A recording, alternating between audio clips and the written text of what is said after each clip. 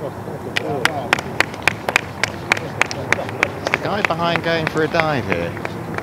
Nice save. Oh yeah, wasn't too bad. Well, I think the dive was better than the putt, to be honest. Look at that launch angle.